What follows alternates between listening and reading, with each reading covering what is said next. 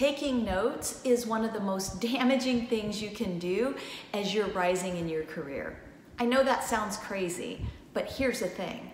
If you are busy taking notes, and I'm not talking about a couple of bullets on a piece of paper, I mean really taking copious notes, you do not get to be part of the conversation.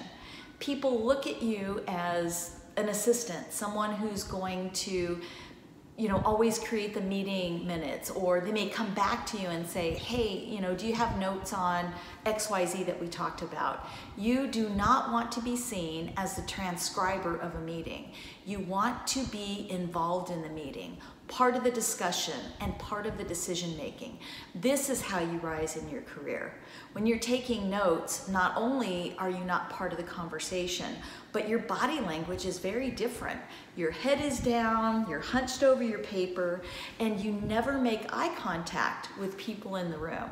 So the next time you find yourself taking a whole bunch of notes because it feels productive, remember, you are actually hurting your rise and hurting your level of influence in the organization.